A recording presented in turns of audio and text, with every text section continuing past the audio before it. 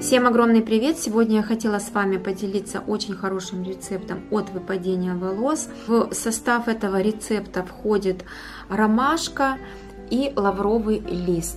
Лавровый лист богат ретинолом, который влияет лучшим образом на рост волос. Ромашка восстанавливает структуру волос и укрепляет. Такое средство очень хорошо подойдет для всех оттенков волос.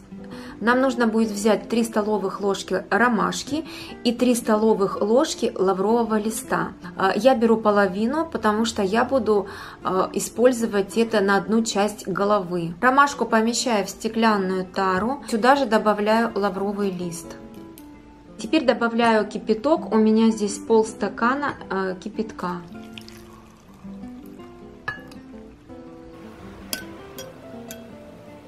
Теперь накрываю все крышкой и настаиваю час.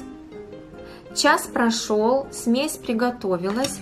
Можно подержать смесь и 3 часа, тогда отвар настоится. Я держала час. Очень вкусно пахнет, запах стоит просто замечательный. Теперь отвар процеживаю. После того, как вы помоете голову, отвар нужно втирать в корни волос и не смывать.